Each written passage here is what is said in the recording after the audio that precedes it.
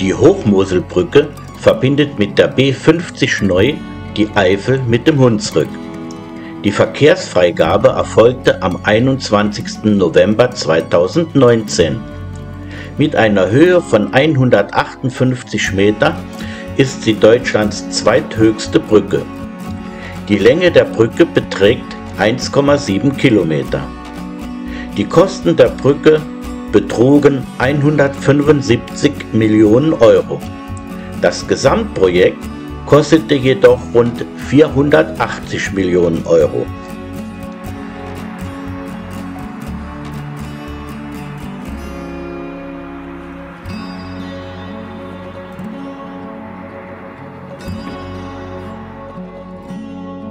Hier haben wir eine Gesamtansicht der Hochmoselbrücke. Rechts ist die Eifelseite, links ist die Hunsrückseite.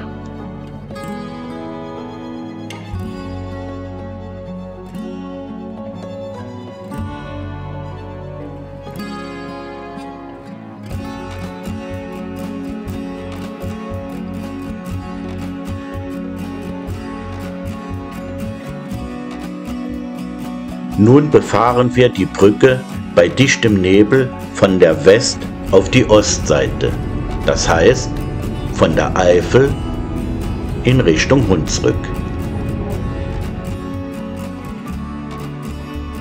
Und nun sind wir schon angekommen. Die Nebelschwaden waren aber so dicht, dass wir noch eine Zeit warten mussten und dann ging alles ganz schnell.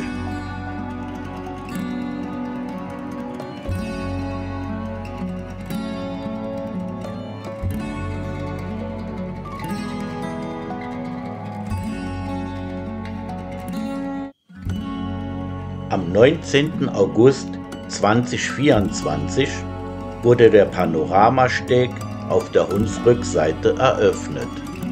Die Aussichtsplattform wurde in Form eines Bumerangs gebaut und ist etwa 150 Meter lang und etwa 7 Meter hoch. Von ihr hat man einen guten Blick ins Moseltal auf Zeltingen-Rachtig sowie Örzig und natürlich auf die 158 Meter hohe Hochmoselbrücke.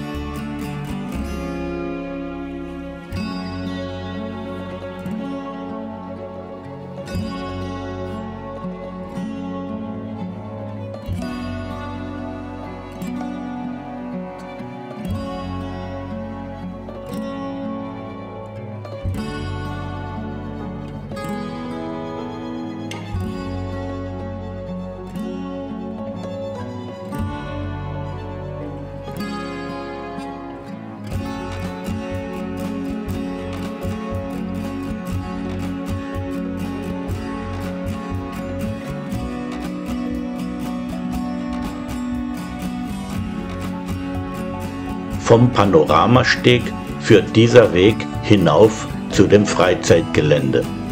Dies sind na geschätzte 500 Meter. Warum man da für teures Geld so einen Weg anlegte, ist für mich unverständlich. Ein Schotterweg hätte es auch getan. Gell, Snoopy? Ja, ist das fein? Ja, gib mir noch ein bisschen. Ja, und die Mama auch noch, gell? Ja. Schön hier oben, sehr schön. Ja. Warm, Ja. wunderbar. Eben war noch, ich sag mal, vor einer Viertelstunde war noch alles zugenebelt. Jetzt ist strahlender Sonnenschein. Hier, hier drauf, hier könnte man doch Quatsch, qu- quasi könnte man jetzt hier mit Inliner drauf rumfahren. Wie so eine kleine Rennstrecke. Bin mal gespannt. Ah, da ist noch ein Blick nach Zeltingen runter.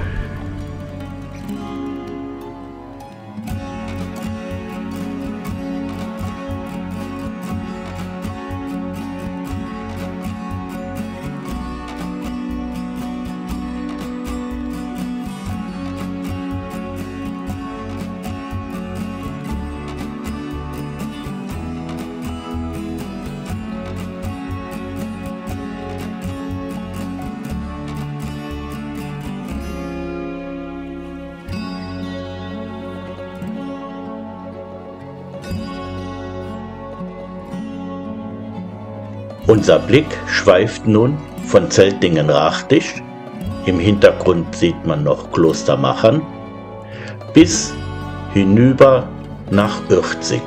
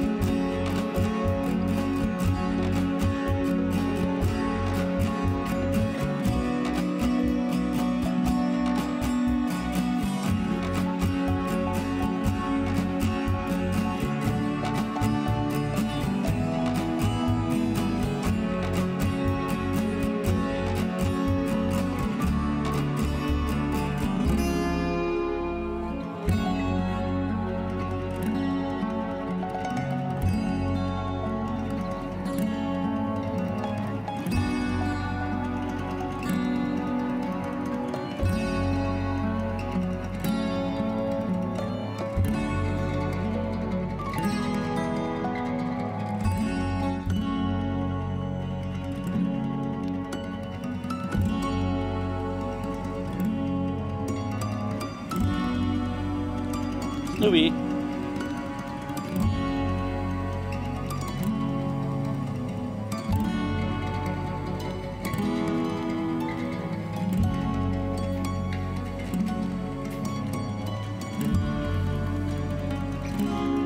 Zum Umfeld der Aussichtsplattform gehört das Freizeitgelände auf dem angrenzenden Plateau, welches von den Bürgern und Vereinen der umliegenden Ortschaften genutzt werden kann.